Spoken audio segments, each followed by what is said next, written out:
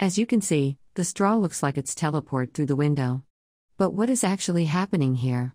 This illusion is called Ames window illusion discovered by Albert Ames Jr.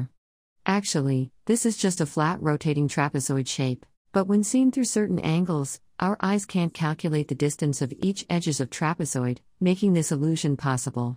Thanks for watching this video and like, share and subscribe for more videos.